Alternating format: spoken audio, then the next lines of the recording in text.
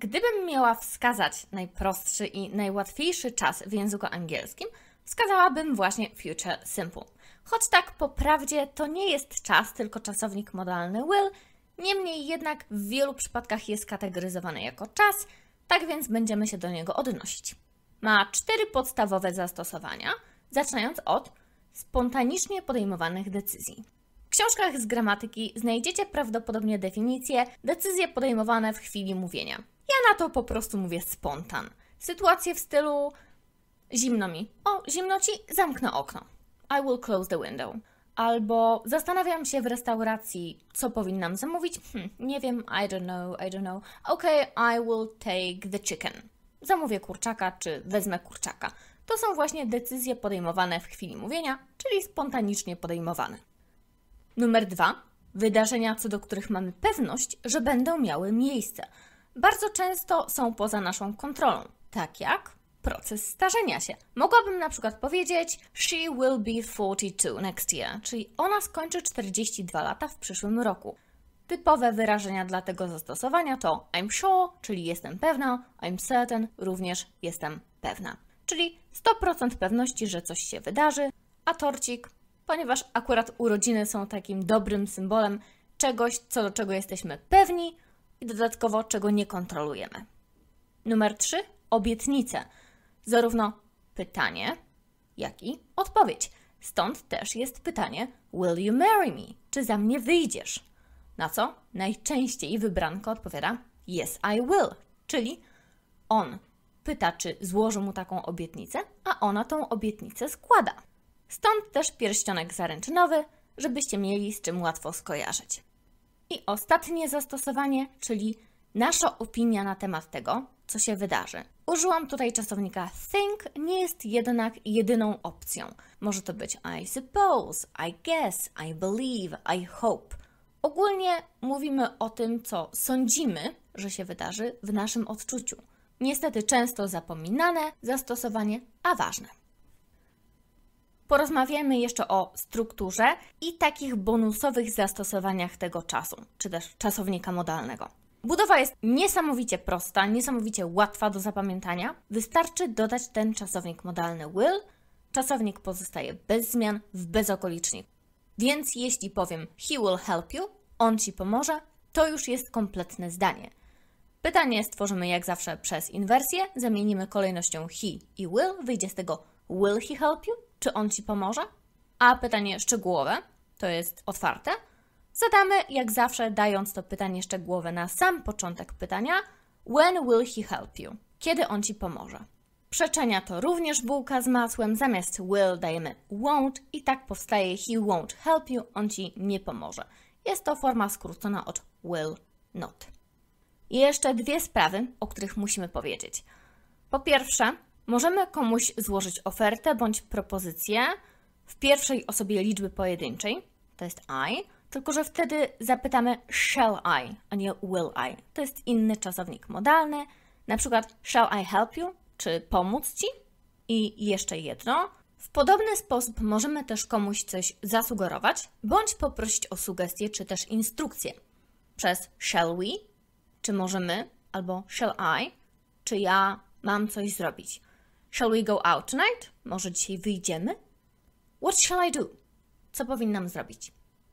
Czasownik modalny shall bardzo często jest przedstawiany w książkach z gramatyki właśnie w akompaniamencie will, dlatego postanowiłam o tym wspomnieć. Mało tego, mogę jeszcze Wam dodać, że jeżeli kogoś prosimy o coś, możemy zacząć właśnie od tego will. Na przykład will you help me? Pomożesz mi? To już jest prośba o pomoc.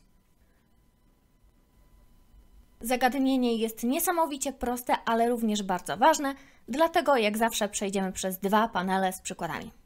Ktoś jest przy drzwiach. Ja otworzę. Someone is at the door. I will get it. Przykład spontanicznie podejmowanej decyzji. Jestem pewna, że będziemy razem bardzo szczęśliwi. Jestem pewna. Słowo klucz. I'm sure we will be very happy together. Czy wyjdziesz za mnie? Obietnicę. Will you marry me? Czy kupisz proszę nieco mleka? prośba o coś, w cudzysłowie wymuszenie obietnicy, prośba o pomoc, o tym też wspominałam. Will you buy some milk, please? Wierzę, że oni będą dobrymi rodzicami. Wierzę, to są moje przypuszczenia. I believe they will be good parents. Jestem pewna, że skończę mój esej na czas. Jestem pewna, znów słowo kluczowe. I'm sure I'll finish my essay on time. Prawdopodobnie odwiedzimy moją babcię w tę niedzielę. Prawdopodobnie, przypuszczenia, will probably visit my grandma this Sunday. Czy ty pójdziesz z nami? A to już jest kwestia interpretacji. Może być to na przykład prośba o coś, może być też wymuszenie obietnicy z braku lepszego określenia, może być to pytanie o czyjeś stuprocentowe plany. Jeśli chodzi o wyrażanie przyszłości, często będziemy napotykać podobne, powiedzmy, komplikacje. To znaczy, to, której struktury użyjemy, będzie zależało od tego, co tak naprawdę chcemy wyrazić, no i dodatkowo jest to wysoce subiektywne. Pozostawia to sporo miejsca dla interpretacji.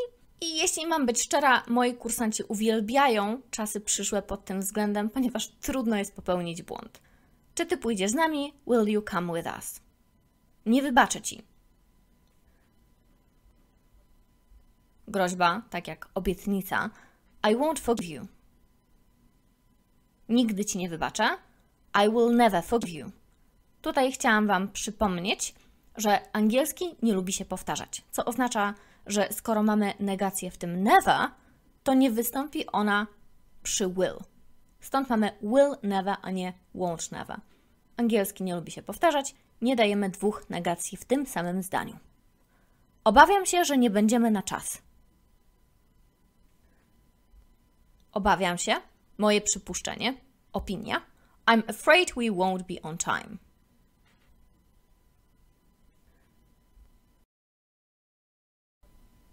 I drugi panel. Ona skończy 5 lat w przyszłym roku. Jest to coś, czego jesteśmy pewni, w dodatku poza naszą kontrolą. She will be five years old next year. Jesteśmy pewni, że to już nigdy więcej się nie zdarzy. Kluczowe jesteśmy pewni. We are sure that it will never happen again. Myślę, że on nie przyjdzie na imprezę. Myślę, sądzę, przypuszczam, nasza opinia. I think he won't come to the party. Mam nadzieję, że mój brat dostanie tę pracę. Mam nadzieję, znowu nasza opinia, nadzieje, przypuszczenia, przekonania. I hope my brother will get this job. Nie zrobię tego. Obietnicę. I won't do it. Mam dla niej prezent. Czy sądzisz, że jej się spodoba? Czy sądzisz, że jej się spodoba? Pytamy o czyjeś zdanie. I have a present for her. Do you think she will like it? To jest takie troszeczkę pokręcone zdanie, ponieważ tak naprawdę pytanie jest w czasie present simple. Do you think? Czy ty sądzisz? Ale pytamy o przyszłość, więc w dalszej części tego zdania musimy dać ten czasownik modalny will. Może jeszcze jeden podobny przykład. Czy sądzisz, że on będzie bardzo zły? Pytamy o czyjeś zdanie w czasie present simple na temat przyszłości z wykorzystaniem will. Do you think he'll be very angry? Kiedy mi pomożesz? Z założeniem, że ktoś nam już to wcześniej obiecał. When will you help me? Nikomu nie powiem. Obietnica. I won't tell anyone. Czy wyłączysz to proszę? Prosimy kogoś o wykonanie czegoś, też o tym wspominałam. Poza tym ktoś może nam odpowiedzieć obietnicą. Will you please turn this off? Nie zapomnę o tym. Obietnica I won't forget about it.